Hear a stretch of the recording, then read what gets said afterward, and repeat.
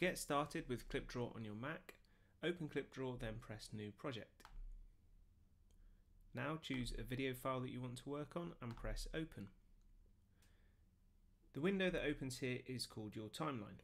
So along here you have the start and the end of the video. And if you hover over your video player, you can see the playback controls here. So we have play and pause, and then some rewind, fast forward options, and frame by frame. You can also turn the sound on or off and change the volume here, and then also go full screen. So with playback in mind, if you press spacebar, you'll play and pause. If you press M on your keyboard, it's frame forward. If you press N, it's frame back. If you press B and keep tapping B, you'll fast forward at different speeds. If you press V and keep tapping, you'll rewind at different speeds.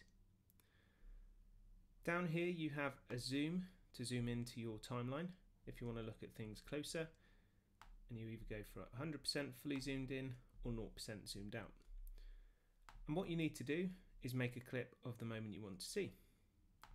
So to do that you can simply put your mouse over the point that you want the clip to start here where you see the numbers and then click and drag to make a clip.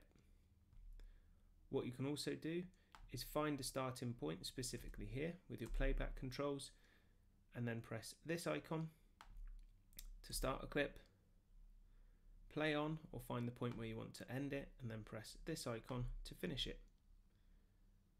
So with KlipDraw Basic you can only make one clip at a time but with KlipDraw Animate you can make up to 10 clips in your timeline.